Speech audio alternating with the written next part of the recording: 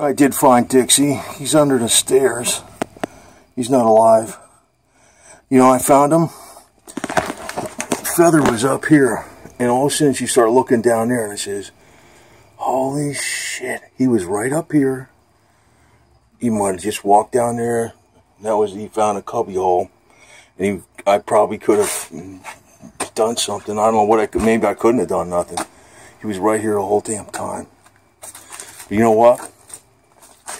Maybe now I can, maybe I can, you know, I can bury him or something. a little spot. I'm sorry, little baby. So when I did that film, maybe uh, I was suspicious something because you know I was at the gym. Here's Onyx up here. I'm gonna bring this guy in right now. I just brought Feather in. I'm like, holy shit. I'm glad I found him at least though. Man, I'm getting suspicious now because um, when I was at the gym, which is not that far from here, there's like a load of cats out there all the time. And I'm like, I started thinking the last few times I was there, I says, I never saw one cat. And there's a load of cats out there because there's a restaurant close by too. A couple restaurants. I says, you know, I've been thinking too. I says, there's been a lot of cats around here I haven't been seeing too. I don't know, maybe something's going on. He was poisoned.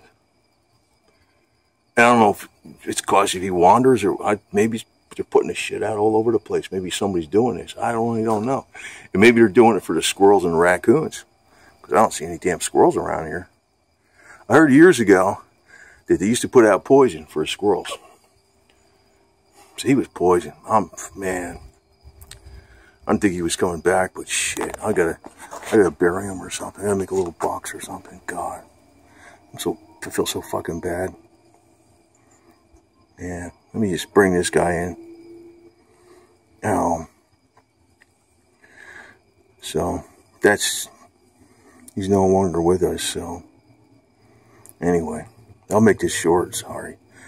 I mean, I'm you know, at least now, you know, I, I was thinking if he's someplace, I thought he was back there someplace in the yard, because he goes through that fence. I thought maybe he went over the yard over there. I freaking think that, but you know what, if I would have got, even at 11 o'clock, it might have been too late. It might have been too late for him.